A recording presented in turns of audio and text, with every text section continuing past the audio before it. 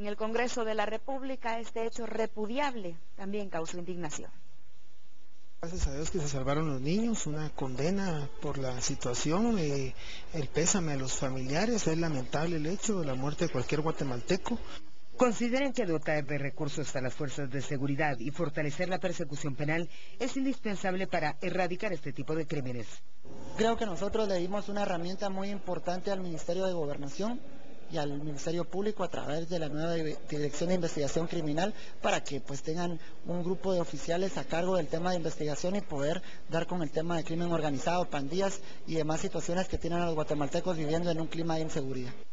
Primero que se aclare y den con los responsables de, estos que están poniendo en, mal la situación a Guatemala, ¿verdad? Eh, lamentamos el hecho, eh, repudiamos por supuesto y exigimos a las autoridades a que se investiguen estos hechos concluyeron que la inteligencia civil y el Ministerio Público deben actuar prontamente para capturar a los responsables.